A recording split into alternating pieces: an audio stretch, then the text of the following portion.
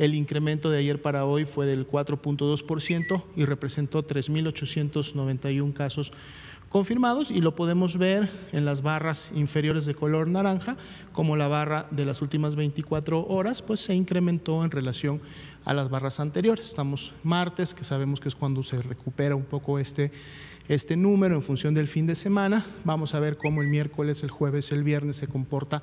Eso nos dará una mejor tendencia de cómo se está este, manifestando esta, esta curva.